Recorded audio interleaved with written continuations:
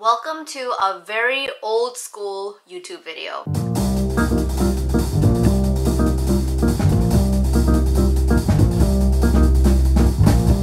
I have definitely become a tote bag kind of girl over the last few weeks. I think it's because I used to carry around so many micro and mini bags I am an avid overpacker and that applies to everything in my life, whether I'm traveling internationally or domestically, even just for a weekend trip, I will always overpack because I want to be over prepared than under prepared. And I think that applies to what I carry around in my everyday tote bag. This is centered around like my everyday work tote bag, but that's really because I just have a laptop in there. I want to start with my tote bag collection. Like I said, I have a ton of micro and mini bags in my collection, but I've slowly been starting to grow my tote bags. Few of my favorites. This tote bag I got from Paris. I'm sure you guys have seen that famous bookstore. Um, it's called OFR Paris and they sell a lot of cute knickknacks, one of them being tote bags. They also sell really cute baseball hats as well. But this is just a standard tote bag. I do like that it comes with a button snap closure so you keep your things secure. It's made of denim so you can pair it with really anything. So I really like this bag and it also reminds me of my trip to Paris. Then I have this fancy tote bag. This is actually exclusive from the Gucci Garden in Florence. You can only get it there and I figured while I was making my trip out there I wanted to bring back something that's special to Florence so I opted for this tote bag that I think would be perfect for spring and summer. The colors really pop and it makes a statement to your outfit so I really like this too. It's also really sturdy. It does hold a ton of stuff. The quality is really great. I don't think that it's gonna break anytime soon because it's very sturdy and the inside has a really pretty design too. It just says Gucci Garden and then the other side has the symbol of Florence. So I thought that was really special.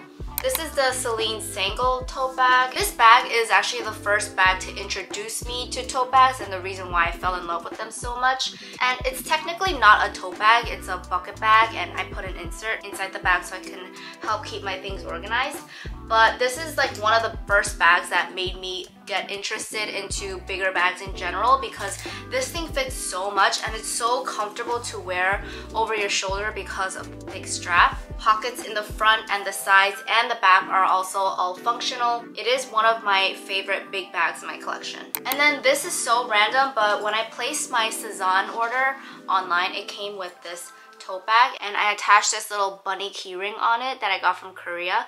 It's so cute because it's wearing a little bikini and it has the little star clip on the ear. I'm pretty sure there was a second star clip but I don't know where that went. This is your basic everyday tote bag. I wear this out when I just kind of want to fling my bag around and not really care about it.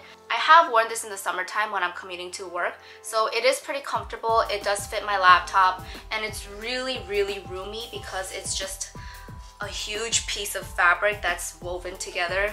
Being that it was a GWP, I was really surprised at the quality of this tote because I've been wearing it a ton and I see like no signs of wear. And last but not least, this is the newest tote bag in my collection. This is the Polène Cyme bag in the normal size. They do have one size smaller, but I opted for this size because it does fit a laptop. If you watch my New York City vlog, you'll know that I got this pretty recently, but ever since I got it, I've just been wearing it non-stop because it's so functional. After I have it for a few months, I'll do a full-on review about it. I'm excited because I have a lot of things in here that you might not think to put in your bag, but will find useful for when you need them. So I'm gonna uncover everything that's in my bag. This is totally unfiltered, and maybe it'll give you some inspiration for things that you can keep in your bag. So let's get started. Like I said, the major selling point for me was that it fits my laptop. I have the 13 inch MacBook and it fits really comfortably in here. I don't have to like try to make room for it. And what's nice about this tote bag is that it actually comes with a little zip pouch that's attached to the inside of the bag. And so in here, I just keep all my important necessities and it does fit quite a few stuff. So first thing I have in this pouch is my Chanel card holder. I got this in Paris last summer and have been using it ever since. And I'm not gonna lie, the quality is still pretty good. Like it doesn't even look like I used it, even though I stuff it to the brim. I think this was a really good purchase, especially because I got it at a lower price in Paris. And then I have my AirPods. I never leave my house without my AirPods and this cute little flower case is from Velvet Caviar and it comes with this cute heart-shaped hook as well that you can attach to your things. If I leave my AirPods at home, I'm the type of person to go back to get it because I hate commuting without my AirPods. Last thing that's in this pouch is my digital camera and I heard that this one has a very similar effect like the Canon G7 X with the flash-ons and I do not regret this purchase at all. It's totally worth it and it takes really good pictures. I would say it is comparable to the Canon G7X because I did used to have that camera um, but yeah I think this is a lot more lightweight. It takes amazing pictures so I really like it. That's what's in my pouch. And then onto my other pouch. I think it's important when you have a tote bag that's this big to have little pouches here and there to divide up your things. So this pouch I actually got as a gift with purchase from Dior Beauty. And I got this pouch because I wanted to get their hand lotion and the famous Dior lip glow. But to be honest, I got these products because they looked cute and I am a sucker for packaging. But honestly, the hand cream is actually really good. I usually don't like using hand creams because I don't like the greasy feeling, especially when I'm typing at work and then it leaves like the greasy fingerprints on the keyboard. I hate that. So I really like that this one just absorbs really quickly into the skin and doesn't leave any residue. And then this is the Dior Lip Glow for chapped lips. It's like good. I don't think it's anything special, but it does help my chapped lips. Then I have a handheld mirror. This is actually from Korea. I got it from a jewelry store called Numbering. They specialize in a lot of silver jewelry and I got this as a gift with, wow, so many gift with purchases today. I got this as a gift with purchase and I'm not gonna lie, the leather is really good quality. I, I'm pretty sure it's real leather because the quality is really good and the mirror is fine. It's not distorted at all. It's very accurate. And I like the size of it because you could see your entire face. Next, I have these Shout wipes, which I I need these all the time. Every time I go out to eat or even just at home, I will get food stains on my shirt. Like no questions asked. I don't know how it happens. No matter how careful I am, I am going to get food stains on my shirt. And a lot of times I like to wear like beige, white, pink, and always without fail, I will have a stain like right here. So I use these Shout wipes to remove the stains like on the go. They're actually really good. I used to have the Tide to go wipes, but then I didn't like the way that it smelled afterwards. Um, but these don't really have a strong scent. I also like that they're just one-time use packets, so after you're done with them, just toss it out. I have a comb. I got it for free. Thank you, Asiana Airlines. If you have bangs, you'll know you need a comb. This little thing is such an interesting invention if you're a content creator. It's the size of a credit card and you basically use this as a phone tripod. Watch. Twist it and then you pop these things up and it fits your phone. Like if you're filming anything in the restaurant and you don't have anywhere to prop your phone up, you just do this and start recording yourself. It's great. And it's so thin. I have nail glue because I wear press-on nails and sometimes they'll just pop off randomly. I don't have my nails done right now, but it just bothers me when I have press-ons and one of them falls off. It's not a good look. So I just carry around nail glue just in case. I have so much perfume in here because every time I shop at Sephora or something, they'll always give me these perfume samples I have an actual deluxe sample of my Jo Malone Wood Sage and Sea Salt perfume and then I have four samples of random perfume that I got as another gift with purchase.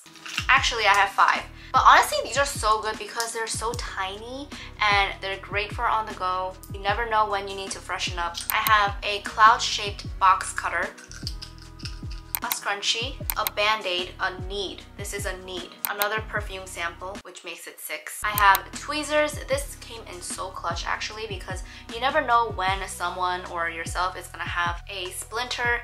You can come to the rescue with these. Also good for straight eyebrow hairs. And then I am actually shocked I only have four lip products in here. And I think it's because this pouch is pretty small, so I am limited, but I used to carry around like eight lip products. First, I have this from Dr. Dennis Gross. It's their Plump and Repair Lip Treatment. This is the best lip plumper I've ever used. I love my lip plumpers and the more tingly and stingy it is, the more I like it. And this one is so fun to apply because it literally looks like a needle. And I get questions on what I'm using on my lips every time I use this. It's just so fun and it actually works. The plumping happens in like two minutes. You feel a nice tingling sensation. If you're kind of sensitive to that, I actually don't recommend this. It's pretty strong. But if you don't mind that feeling, I highly recommend this. Best lip plumper ever. I have a lip tint. If it's a lip tint, it's 99% of the time going to be a Korean brand. This is the rom&nd Vintage Ocean lip tint. This is so good.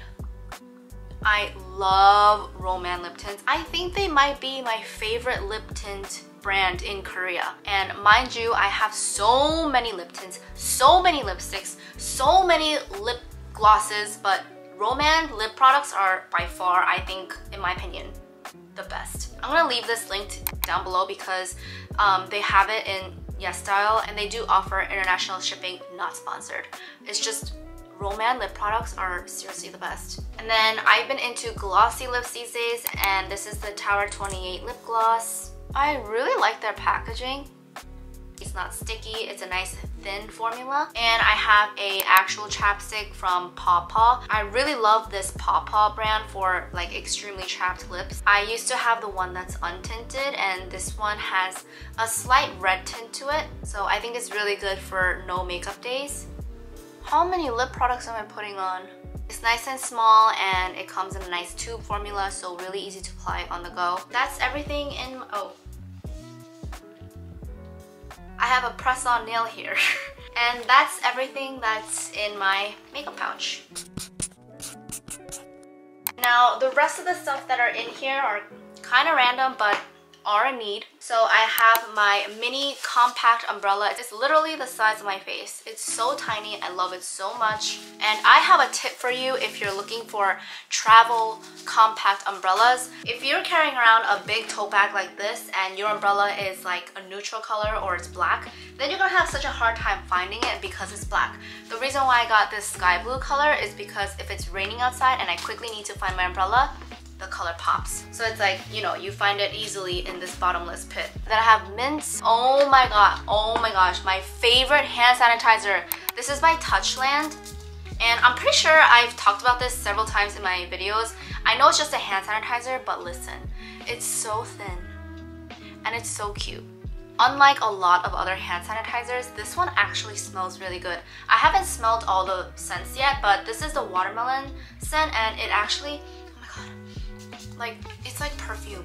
It smells so good. I don't know if anyone cares about this, but it is a fine mist. So yeah, really good. Oh my, I have my little iWalk charger. This is an iPhone charger and it's really handy because I used to have like those bulky portable chargers, but now I can just carry this around. It's so lightweight, it's so small. I literally carry it around with me everywhere and it just charges my phone like this. So very nice and useful.